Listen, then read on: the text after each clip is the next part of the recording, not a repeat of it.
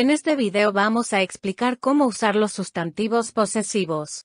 Agregamos un apóstrofo y una S a un sustantivo para indicar que algo le pertenece. Por ejemplo, The father of Michael. es equivalente a decir, Michael's father. cuando un sustantivo singular o plural no termina en S, podemos escribir un apóstrofo y una S para indicar que algo le pertenece. Veamos algunos ejemplos. My father's car is outside.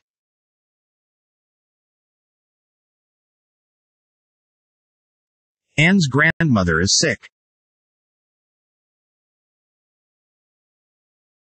The children's toys are broken.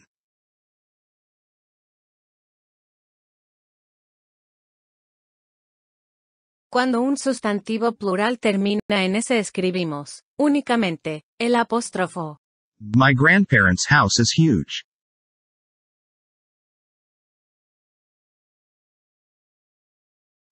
The girl's keys are lost.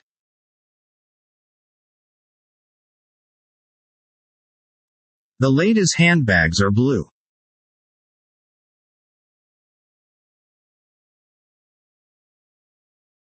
Cuando un sustantivo singular termina en S escribimos el apóstrofo y una letra S. My boss's office is huge.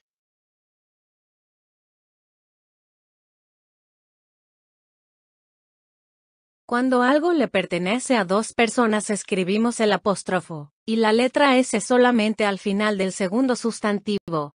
Kelly and Jim's mother is traveling.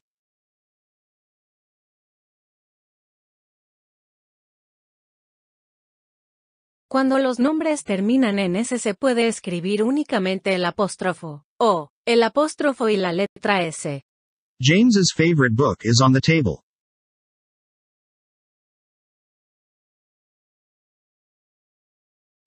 James's favorite book is on the table.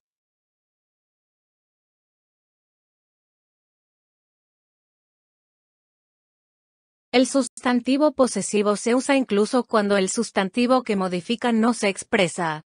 I am going to Bob's. I am going to Bob's home.